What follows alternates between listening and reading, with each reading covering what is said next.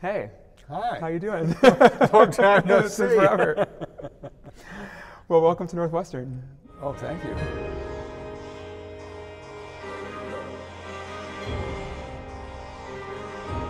Third movement, the bass drum on the side.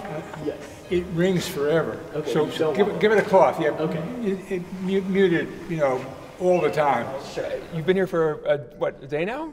What, yes. What's well, been? more. Uh, it feels like longer. feel like it's been, forever. Is there? Uh, what's What's been a highlight for you so far? The experience. Well, as usual, it's rehearsal and hearing hearing how well the, the, the uh, you and the uh, students went through uh, City Life this morning.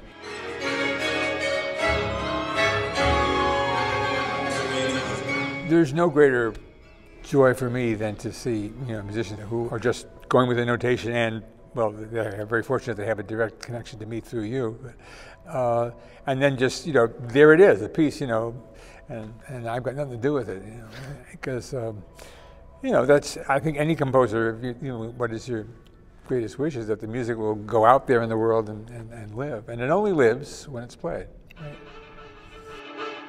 On the surface of it, the most innovative thing in city life is the use of, of samplers. And so Reich had a long interest in text, recorded speech, other um, you know, sort of found sounds. As a New Yorker, it's a really fascinating document about New York City. And, um, and I think it also says something about Reich's many and complex feelings about the city. You know, he was, he was recording these sounds in the early 90s around his apartment in lower Manhattan.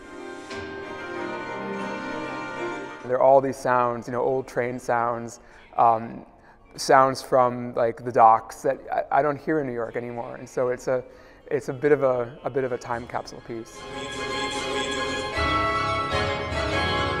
So the experience that these students are having here is one that I had as a student. Uh, when I was at Eastman as a grad student, Reich came in as a guest composer, and I got to be part of a performance of music for 18 musicians.